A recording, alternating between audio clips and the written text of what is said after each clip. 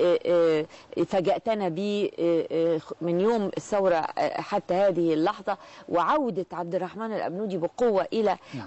ميدان الشعر وميدان آه، ميادين مصر كلها.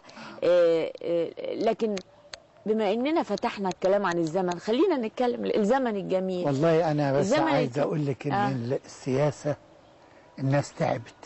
يعني أي ما تفتحي أي وسيلة إعلام أي ما آه. اللي بيعرف واللي ما يعرفش أيوة. اللي حاسس واللي مش حاسس واللي بي- اللي ليه واللي ملوش بقت يعني إيه آه يعني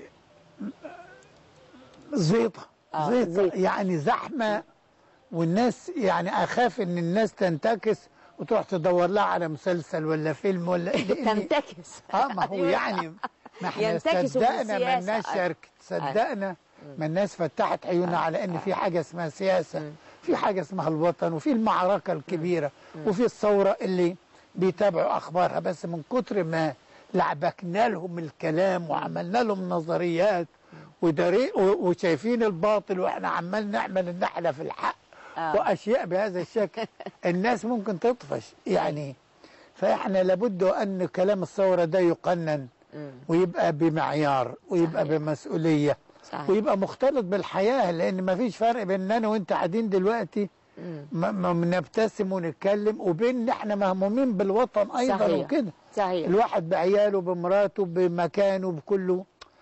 ما ما فيش غير الوطن يعني. أيوة. أنا يعني آه. قصيدة الميدان. مم. أنا زي ما تقولي حضرتك أنا في هذا المكان.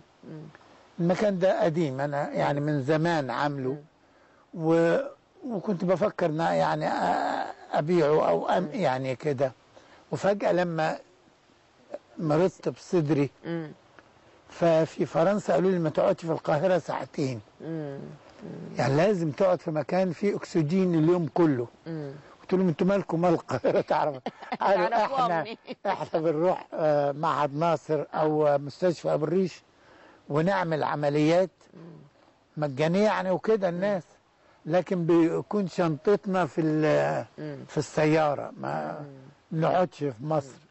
لأن مصر دي مدينة يعني يا القاهرة يعني. مدينة لا تسكن.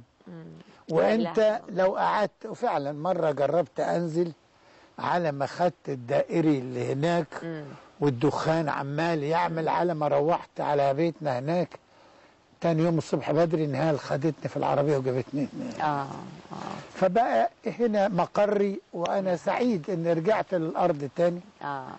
وخيرة أصدقائي وأحبابي معايا دايما يعني. يهربوا زي ما حضرتك عملت كده. من القاهرة أيوة. ويجوا هنا. هنيجي